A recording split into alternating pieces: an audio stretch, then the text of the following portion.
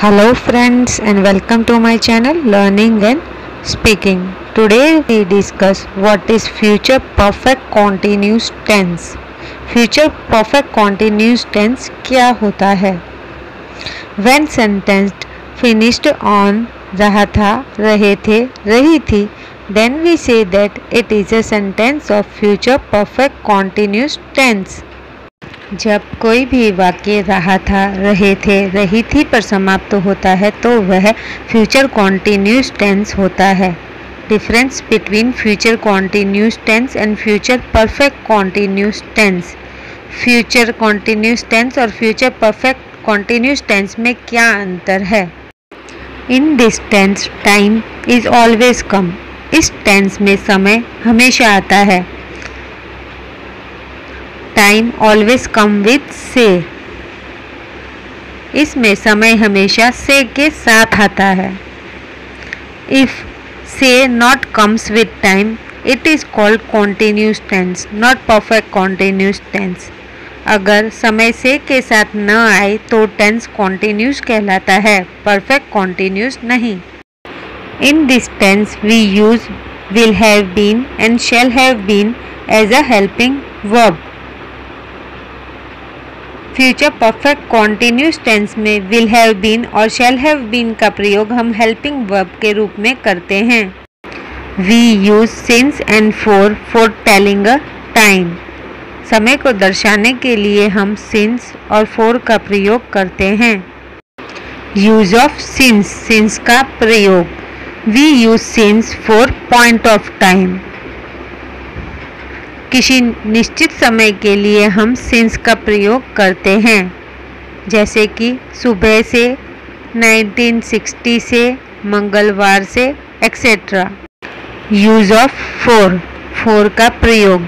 We use for for period of time अनिश्चित समय के लिए फोर का प्रयोग किया जाता है। जैसे कि दो दिन से, चार सप्ताह से, कई वर्ष से सेकंड से, महीने से, घंटे से मिनट से।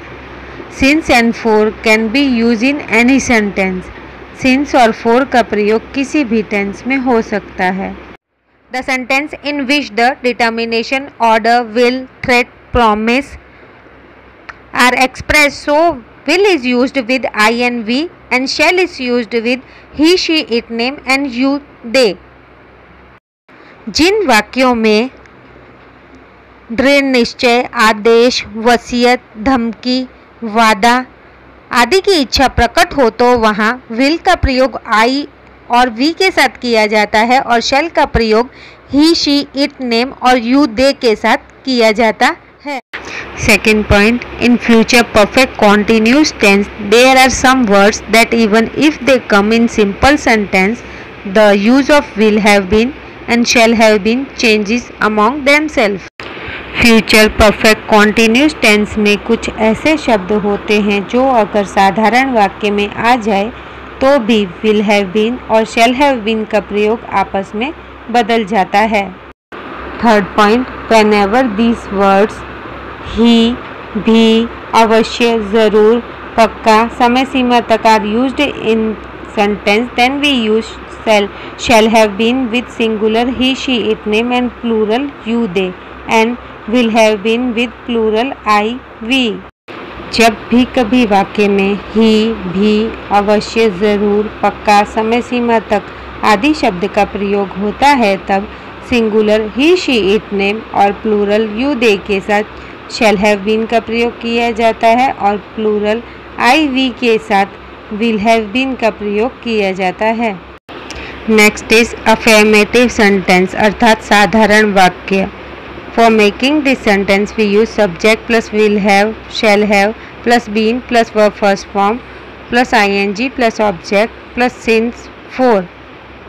For example, कल रात से वर्षा हो रही होगी it will have been raining since last night इस वाक्य में हमारा सब्जेक्ट है will have been helping verb है raining verb first form plus ING है और बाकी हमारा ऑब्जेक्ट है। सेकेंड एग्ज़ाम्पल वह सुबह से इस पुस्तक को पढ़ रहा होगा। He will have been reading this book since morning इस वाक्य में ही सब्जेक्ट है will have been helping verb है रीडिंग वर्ब की फ़र्स्ट फॉर्म प्लस आईएनजी है और बाकी object next is negative sentence अर्थात नहीं वाले वाक्य. For making this we use subject plus will shall plus not plus have plus been plus verb first form plus I N G plus object plus since for for example वह दो घंटे से काम नहीं कर रहा होगा.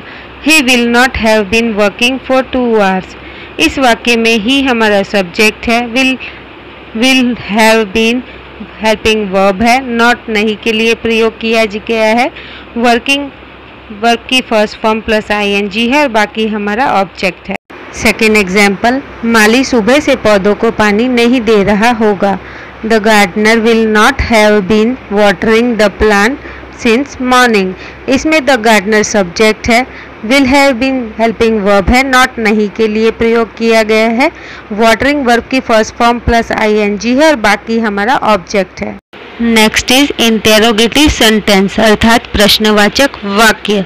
For making this we use will shall plus subject plus have plus been plus verb first form plus ING plus object plus since for for example क्या वह सुबह से खाना पका रही होगी?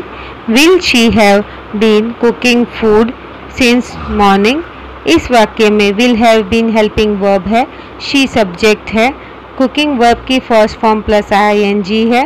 बाकी ऑब्जेक्ट है। से के लिए सिंस का प्रयोग किया गया है और मॉर्निंग हमारा टाइम है। सेकेंड एग्ज़ाम्पल क्या लड़के सुबह से गप्पे लगा रहे होंगे? Will the boys have being gossiping since morning इस वाक्य में will have been helping verb है। द बॉयज़ सब्जेक्ट है। गॉसिपिंग वर्ब की first form plus I N G है। से के लिए सिंस का प्रयोग किया गया है और मॉर्निंग टाइम है। In last interrogative plus negative sentence अर्थात प्रश्नवाचक प्लस नहीं वाले वाक्य। For making this we use will shall plus subject plus not plus have plus been plus verb first form plus I N G plus object plus since for plus time for example क्या वह सोमवार से परीक्षा नहीं दे रहा होगा? Will he not have been taking the examination since Monday इसमें will have been helping verb है। ही हमारा सब्जेक्ट है। नहीं के लिए नॉट का प्रयोग किया गया है। टेकिंग वर्ब की first form plus I N G है। बाकी ऑब्जेक्ट है। से के लिए सिंस का प्रयोग किया गया है और टाइम मंडे है। सेकेंड एग्ज़ाम्पल क्या दिवाकर सुबह से कोई काम नहीं कर रहा होगा? Will Divakar not have been doing any work since morning? इस वाक्य में will have been helping verb है, दिवाकर सब्जेक्ट है। नॉट नहीं के लिए प्रयोग किया गया है। डूइंग वर्ब की फ़र्स्ट फॉर्म प्लस आईएनजी है। से के लिए सिंस का प्रयोग किया गया है। और बाकी ऑब्जेक्ट है।